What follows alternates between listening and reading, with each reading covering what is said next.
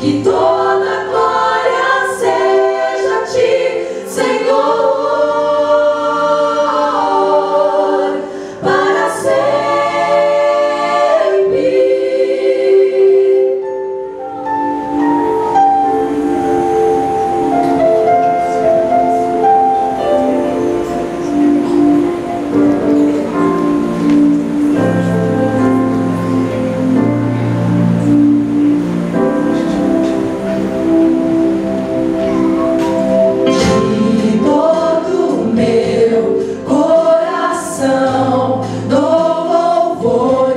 ti com todo